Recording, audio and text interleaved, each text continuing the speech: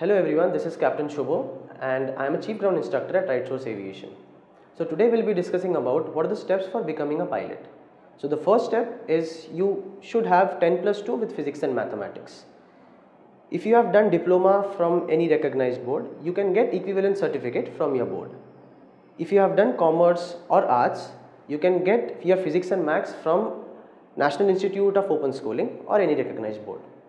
After clearing your 12th exams, initially you will have to undergo class 2 medical examination and then class 1 medical examination.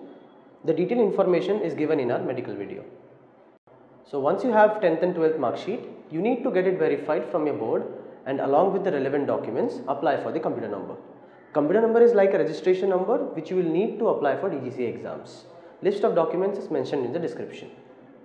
Once you complete your class 2 medical, you can enroll with us for DGCA exam preparation where we will give coaching for all CPL and ATPL subjects that is navigation, meteorology, regulation, technical and specific paper along with the RTR which you need if you decide to fly from India and if abroad you do not have the need to give technical and the specific paper.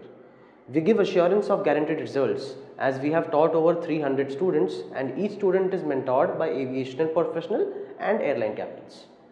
After clearing your DGCA exams and class 1 medical, we will guide you to choose flying school best suited to you to complete your commercial pilot license training. Average time taken by our students is between 8 to 11 months. After obtaining a foreign country CPL, you will need to convert your license to DGCA Indian Commercial Pilot License. All requirements are mentioned in the description below. After meeting the flying requirements along with supporting documents, you can now apply for conversion to obtain the Indian Commercial Pilot License.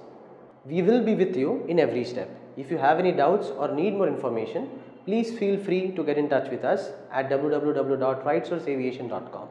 We wish you the very best. Thank you.